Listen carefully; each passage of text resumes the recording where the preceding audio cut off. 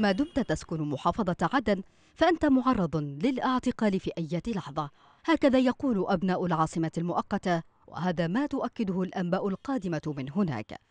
فتواصلا لمسلسل المداهمات الذي تقوم به قوات المجلس الانتقالي المدعوم من الإمارات. قالت رابطة أمهات المختطفين إنها وثقت اعتقالات لأكثر من 400 شخص بينهم مسنون وأطفال. في العاصمة المؤقتة عدن على خلفية الأحداث الأخيرة في كريتر منذ أسبوع.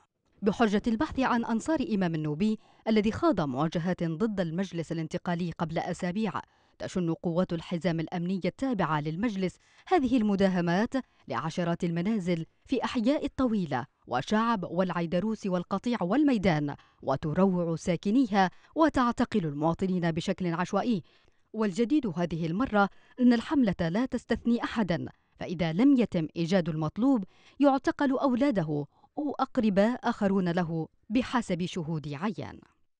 أتت هذه الحملة بعد اجتماع لهيئة رئاسة المجلس ووزرائه في الحكومة الذين حذروا في الاجتماع كل من يتستر أو يأوي أنصار إمام النوبي حسب تعبيرهم.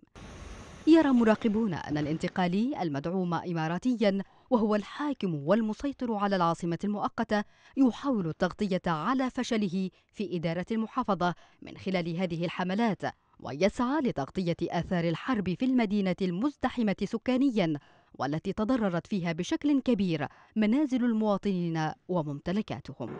باتت منازل العاصمة المؤقتة مفتوحة لكل انتهاكات المجلس الانتقالي الجنوبي المدعوم من الإمارات فجل الذين تختطفهم مدنيون وموظفون حكوميون وفي القطاع الخاص وباعة متجولون وبعض ممن ينتمون إلى محافظات شمالية أو جنوبية تسيطر عليها الشرعية فضلا عن رجال دين ومرتادي بعض المساجد.